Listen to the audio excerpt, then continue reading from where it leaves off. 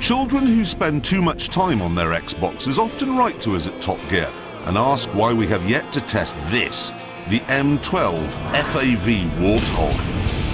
Frankly, if you ask questions like that, you're not going to understand the explanation as to why we can't, so you'll just have to test it yourself here.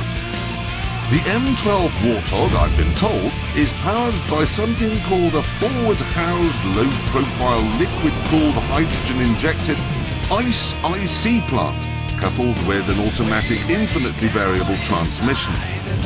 Yes, I don't know what that means either. Uh, furthermore, the Warthog's tyres have moved away from previous inert gas pocket inflation with equally burst-proof single-unit nanotube skeletons. They provide the buoyancy and ride of gas pocket tyres but are almost indestructible, it says here. Uh, apparently, there could be endless variants, a bit like the Porsche 911 then, but unlike the Porsche 911, this is only available to members of something called the UNSC, and I don't think they do an RS version. Unlike the Porsche, which is vulnerable to disappearing off the road backwards, the Warthog is only vulnerable to Banshee's fuel rod guns and light plasma cannons.